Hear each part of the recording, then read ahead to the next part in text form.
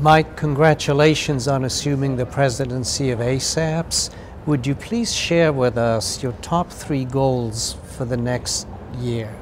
Thanks, Dr. Nahai. The things that I think that are important to promote uh, in, uh, in my next coming year as president, which I'm sure will fly by, will be to continue to promote, promote ASAPS as the go-to education source, after all we are aesthetics, uh, for uh, both our membership and also the patient population out there.